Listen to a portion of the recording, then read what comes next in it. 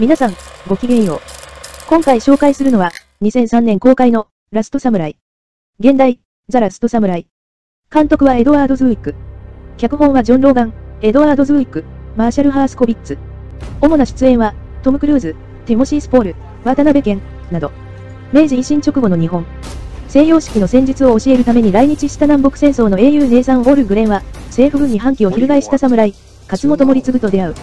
死をも超える揺るぎない価値観に感銘を受けたオール・グレンは、やがて勝本と固い絆で結ばれてゆく。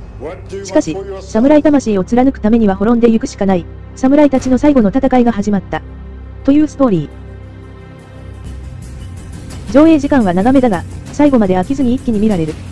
少し変な時代交渉を補ってあまりある映像が美しく迫力あって見応えあり。はっきり言ってトム・クルーズよりも、渡辺謙や真田広之の方がかっこよかった。最後の明治天皇の言葉は、日本人が何か大事なものを失ってしまっているのではないかと考えさせられた。ということで、評価は。3社